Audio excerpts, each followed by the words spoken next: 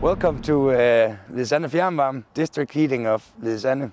Today I'm, I'm here with Christian Ingerslev, and he's from EMD in Aalborg. We have worked together to find the best solution to use our natural resources to uh, harvest energy uh, and then convert it into district heating. If you look to the west, we have uh, three wind turbines, and uh, we also have almost 10,000 square meters of uh, solar collectors.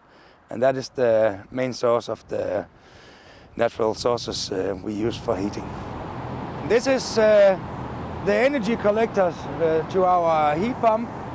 And uh, they're taking the ambient air and uh, pushing it through a heat collector.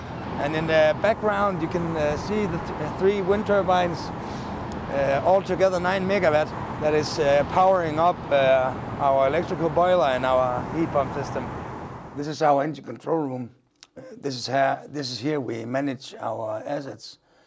You can see we have uh, our accumulation tank where we can store approximately 125 megawatt hours of heat. We have our CHP plant, approximately 7.6 uh, megawatt of electrical power. We have our backup in uh, natural gas boilers, uh, 10 megawatt and 4 megawatt. Our electrical boiler, 10 megawatt, and then our heat pump. This is our solar collectors. Today it's uh, we don't have any sunshine, so uh, we're not producing that much. Yesterday was a good day, 37 or almost 38 megawatt hours of uh, heat produced. Today, uh, almost nothing the way we do it um, is that we are uh, looking into the energy uh, trade uh, software that uh, has been developed in uh, EMD in, in Aalborg. And as you can see, we are following uh, the prognosis of the spot market, the electrical price on the spot market hour for hour. And then we are looking at how much wind there is, so and that is converted into electrical power and we're looking into how much solar production we have.